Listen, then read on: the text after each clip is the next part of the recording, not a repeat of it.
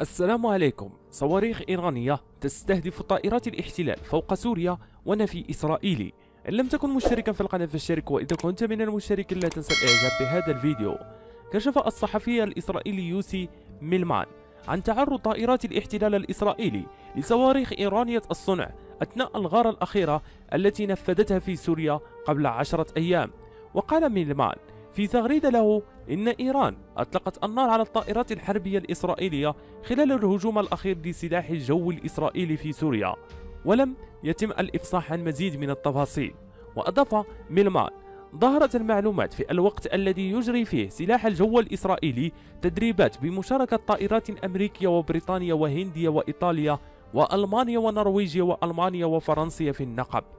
من جهته ذكر موقع إن 12 الإسرائيلي إن إيران أرسلت صواريخ مضادة للطائرات لمساعدة المؤسسة الدفاعية السورية في مواجهة الهجمات الإسرائيلية في المنطقة. وأضاف أنه في إحدى الهجمات الأخيرة على القوات الجوية السورية أطلقت مجموعة مسلحة سورية موالية لإيران صواريخ على الطائرات الإسرائيلية وكادت تصيبها. لكن الجيش الاحتلال الإسرائيلي نفى تلك الأنباء وقال المتحدث باسم أفريقي أدراعي عبر تويتر إن الإيرانيين لم يطلقوا نيرانهم نحو طائرات سلاح الجو خلال نشاطاتها العسكرية خلافا لبعض التقارير. في الأخير إذا كنتم من المهتمين بهذه النوعية من الأخبار لا تنسوا الاشتراك لتتوصلوا بالجديد وشكرا.